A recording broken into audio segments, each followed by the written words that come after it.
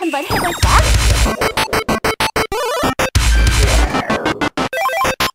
시작!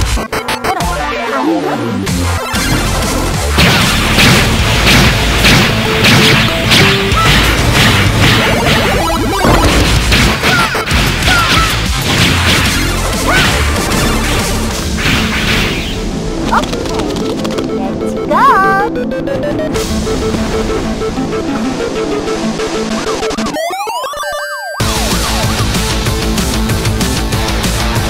男人，女人，天天。